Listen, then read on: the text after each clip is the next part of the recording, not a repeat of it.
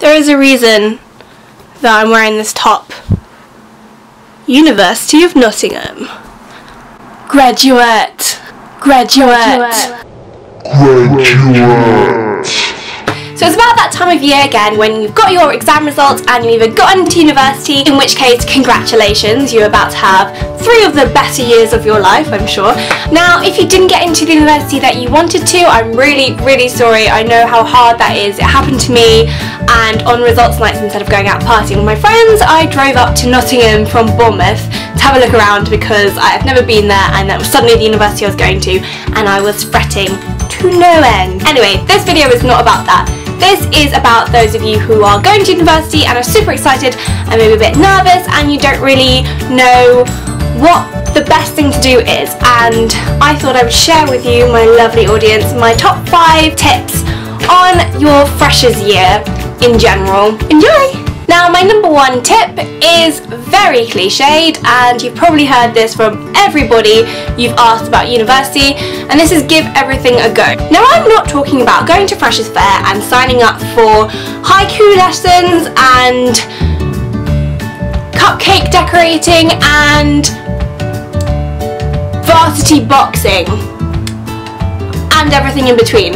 I'm not talking about that. I'm talking about in Freshers Week. There's so many events on and you know there's some people who will go to everything and some people who won't go to anything but I would suggest you give everything in Freshers Week a try and yes there will be some super lame parties going on but it's all part of the fun. Chances are if you don't feel like a traffic light party is your kind of thing it probably isn't. However, there might be a group of people that you meet along the way who also don't think it's their cup of tea and boom, you've got friends. My top tip number two is keep an open mind about your housemates. Now I was very blessed to be placed with one of my all-time best friends now, um, Hayley, as I think I mentioned her on this channel before.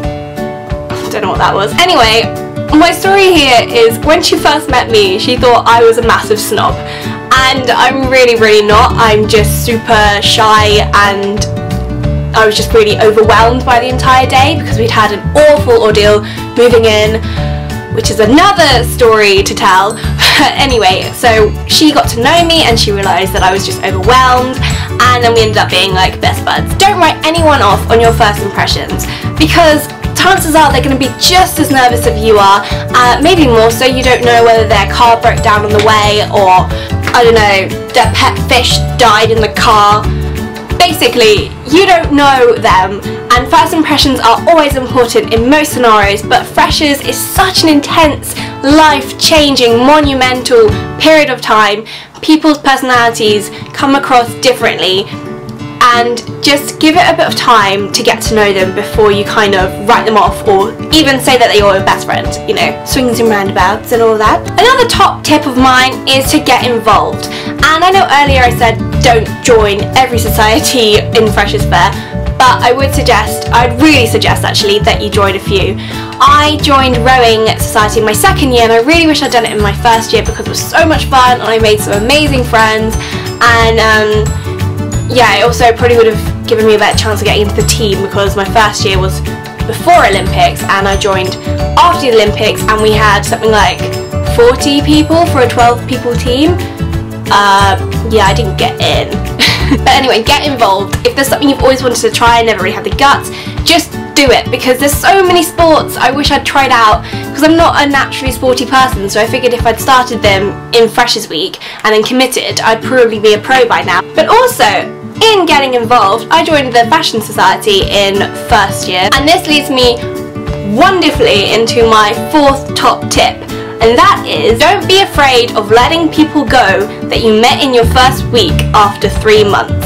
Anyone who has been to university will probably tell you about Freshers friends. You either realise you don't like them, they realise they don't like you, or just it becomes really awkward because you were only ever hanging out drunk and then and then you have like the rest of your life and it's just really weird. Now I met this girl in the Fashion Society uh, freshers party thing and you know she seemed really nice, she was really friendly, bubbly, uh, we got on well it would seem um, as the weeks went on, she became very possessive, almost like some kind of weird possessive boyfriend, and she ended up trying to move my flatmate, who she'd never met's birthday party, to her flat.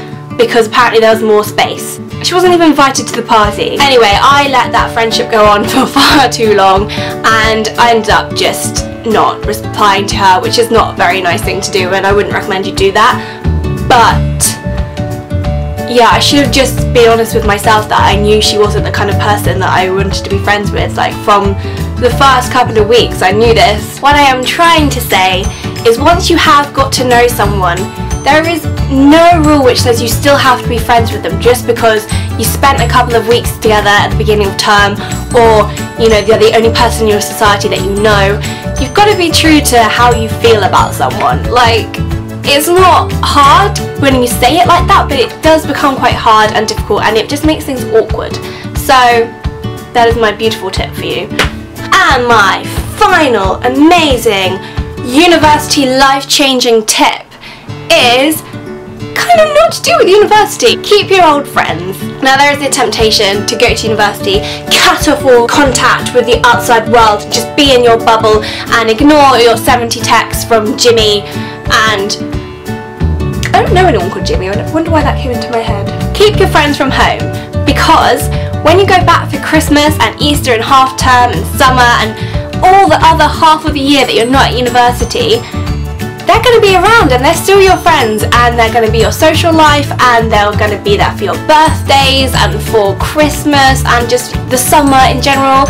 Like there is no point in cutting them off. Me and my friends uh, from home are pretty damn close and we always kind of have been, we, but I think we've got closer since we've all gone to university. Basically your friends from home you've known for years and there might be one or two that are just friends of convenience but for the majority they are truly your friends. And it's great to make a whole group of new friends and I always think you should kind of try and mix the two whenever possible.